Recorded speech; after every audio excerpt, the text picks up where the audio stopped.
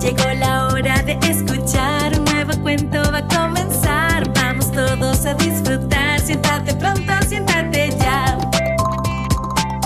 Llegó la hora de escuchar, un nuevo cuento va a comenzar. Vamos todos a disfrutar, siéntate pronto, siéntate ya. En medio de un pacífico bosque vivía una familia de gusanitos. Gus era el más pequeño. Todas las mañanas, la mamá gusano recogía jugosos duraznos, ricas manzanas y dulces peras. Pero nunca se acercaba un árbol pequeño de frutos verdosos. Con las frutas, mamá gusano preparaba deliciosas ensaladas que a Gus no le gustaban. Un día, la lúcuma más madura sintió algo extraño. Era momento de caer del árbol. Rodó hasta llegar donde las demás frutas, quienes asombradas le dijeron, ¡Qué rara eres! ¡Nadie te escogerá! Sí, mírame a mí. dijo la coqueta manzana. Yo soy rojita y muy sabrosa. Yo soy muy rica y nutritiva. Se adelantó la siempre vanidosa fresa. A mí me escogen porque alimento mucho. Explicó el plátano con mucha sabiduría. La naranja, que no quería pasar desapercibida, gritó. ¿Y a mí? Porque tengo mucho jugo.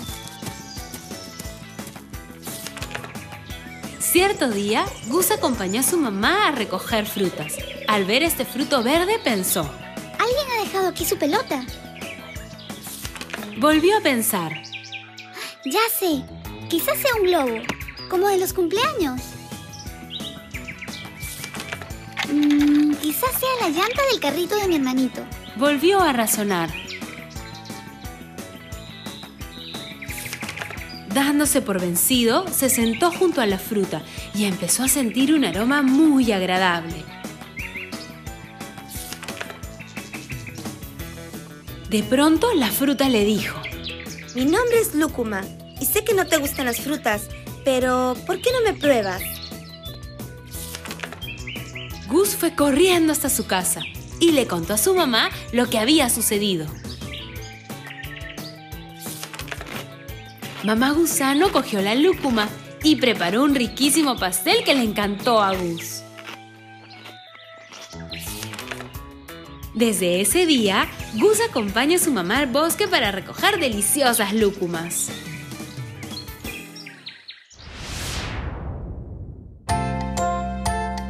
Ahora vamos a jugar respondiendo estas preguntas. ¿Cómo se llama la fruta que nadie recogía? Muy bien, lúcuma. ¿Qué hacía la mamá gusano con las frutas que recogía? Correcto, una ensalada de frutas. ¿Cómo se llama el gusanito más pequeño? Sí,